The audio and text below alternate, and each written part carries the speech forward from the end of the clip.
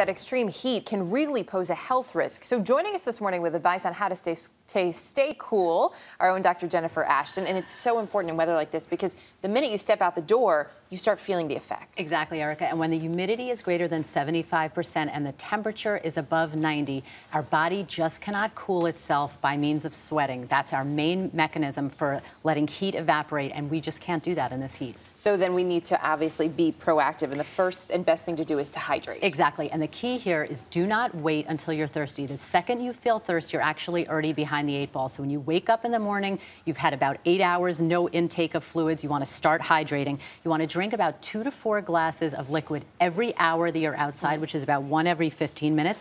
And most importantly, you want to avoid beverages that contain alcohol, high contents of sugar or caffeine, and also very cold drinks. Not because it can further dehydrate you, but just it can give you stomach cramps. Okay, and, and those sugary drinks too, that includes things like energy drinks and, and yeah. sports Listen, drinks. Mild activity outside, water is really best. If you're working or doing heavy, strenuous exercise or activity outside, then you do want to replace okay. those electrolytes with a balanced sport beverage. Gotcha.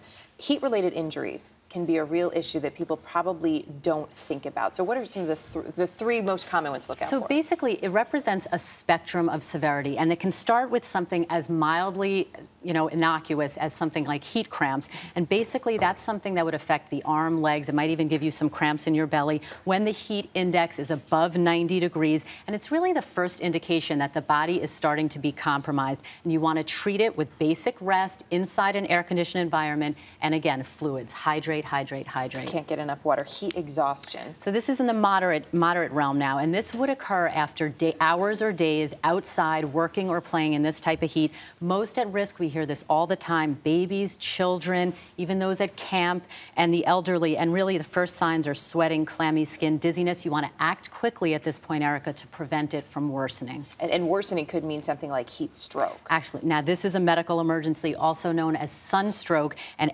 anyone who's outside is at risk. You're going to see someone whose skin is flushed. They are not going to be able to sweat, so their skin is dry, and that is a medical emergency. You want to get them to a hospital. And that's when it gets really scary. Yep. Jen, always good to have you here. You Thank bet, you.